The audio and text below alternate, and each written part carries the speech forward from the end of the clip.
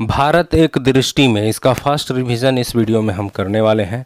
यदि आप बीपीएससी शिक्षक भर्ती एग्ज़ाम की तैयारी करते हैं तो यह वीडियो आपके लिए काफ़ी महत्वपूर्ण है। देखिए, सबसे पहले हम बात करते हैं भारत की अवस्थिति, कहाँ स्थित है। तो ये जो है, उत्तरी गोलार्ध में है एवं पूर्वी देशांतर में, इसको रट जाइए। उत्तरी गोलार्ध एवं पूर्वी देशांतर में। ठीक है, आकृति कैसी है? चतुष्कोणीय है। राजधानी कहाँ है? नई दिल्ली में है। भारत की जलवायु कैसी है? मानसूनी जलवायु है। ठीक है, अब भारत में कुल राज्यों की संख्या कितनी है? तो अट्ठाईस है। केंद्र शासित प्रदेशों की कुल संख्या कितनी है? तो आठ है। कुल क्षेत्रफल बत्तीस लाख सतासी हज़ार दो सौ तिरसठ वर्ग किलोमीटर। याद रखने के लिए शुरू में भी तीन और अंतिम में भी तीन, ठीक है? विश्व क्षेत्रफल में भारत का प्रतिशत कितना है? दो दशमलव चार दो प्रतिशत। हमेशा रट जाइए, क्वेश्चन पूछा जाता है। क्षेत्रफल की दृष्टि से विश्व में स्थान सातवां है। विश्व में कितना स्थान है? सातवां है। लेकिन एशिया में कितना है? तो एशिया में दूसरा स्थान है। एशिया में दूसरा स्थान है। क्षेत्रफल में भारत से छह बड़े देश कौन कौन है? पहला रूस, दूसरा कनाडा, तीसरा चीन, चौथा अमेरिका, पांचवा ब्राज़ील, छठा ऑस्ट्रेलिया और सातवां भारत और आठवां क्या है? कौन है? अर्जेंटीना। तो याद रखेंगे। तो हमारा देश सातवां है, छह ये बड़े देश हैं।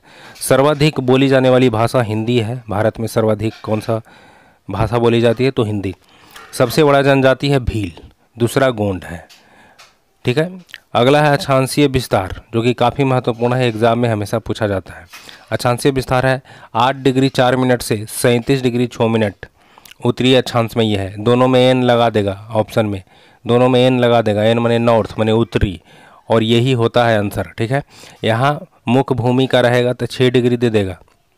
मतलब आठ डिग्री के स्थान पर छः डिग्री भी कभी कभी रहेगा। मुख्य भूमि से अगर पूछेगा तो। चलिए आगे देखिए, देशांतरीय स्थिति क्या है?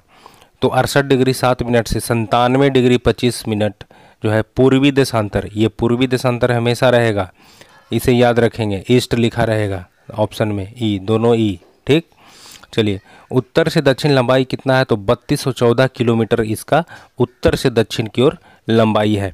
पूरब से पश्चिम की ओर लंबाई कितना है? तो उनतीस सौ तैंतीस किलोमीटर है।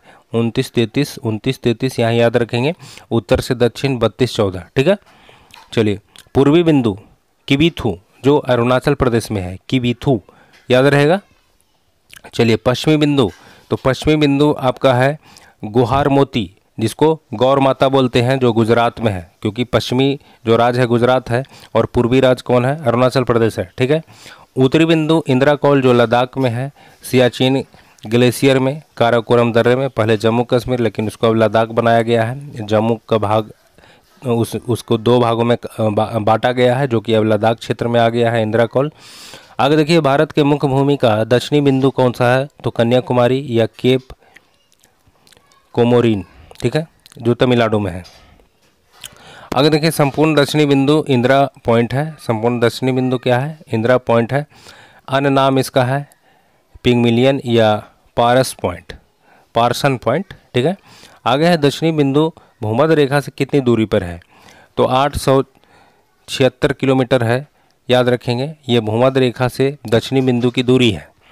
स्थल सीमा की कुल लंबाई है 15,200 किलोमीटर। स्थल सीमा जो है भारत की उसकी लंबाई है 15,200 किलोमीटर जबकि मुख्य भूमि के तट का जो लंबाई है इकसठ किलोमीटर है। मुख्य भूमि के तट का लंबाई इकसठ किलोमीटर है। दीपों सहित दीपों सहित तटीय लंबाई कितना है? दीपों सहित तटीय लंबाई जो है पचहत्तर सौ सोलह। दीपों सहित तटीय लंबाई पचहत्तर सौ सोलह किलोमीटर आपका मिलेगा। पचहत्तर सौ सोलह दशमलव छः भी लिख सकते हैं। यहाँ पे दिया जाता है। अगर ये नहीं रहेगा तो पचहत्तर सौ सोलह लगा सकते हैं। कोई दिक्कत नहीं। समुद्र तट से लगे राज्यों की संख्या कितना है? नौ राज्य जो है, समुद्र तट से लगे राज्यों की संख्या है। ये जो दक्षिणी भाग है ना, इधर पाँच राज्य है और इधर चार राज्य है। यहाँ गुजरात वाला एरिया है ना? खमात की खाली खाड़ी और क्या है? कच्छ की खाड़ी। तो याद रखेंगे। चलिए। लंबी तटरेखा वाला राज्य गुजरात है। लंबी तटरेखा वाला राज्य गुजरात है। सबसे छोटी तटरेखा वाला राज्य जो है, गोवा है। सबसे छोटी तटरेखा वाला केंद्र शासित प्रदेश अंडमान एवं निकोबार द्वीप समूह है।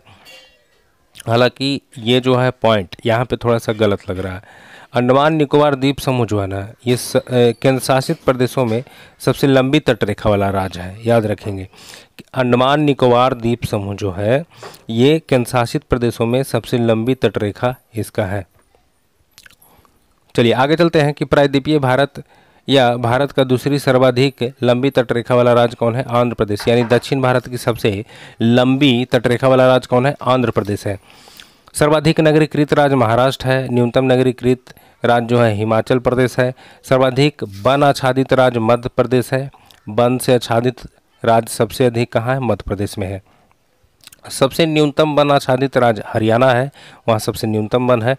और सर्वाधिक वर्षा मानसीराम मेघालय में होता है, न्यूनतम वर्षा जो है, लेह लद्दाख में होता है, सबसे कम वर्षा। और सबसे ठंडा स्थान द्रास लद्दाख में है, सबसे ठंडा। और हिमालय से लगे राज्यों की संख्या दस है, ये क्वेश्चन पूछा गया है। हिमालय से लगे राज्यों की संख्या दस है।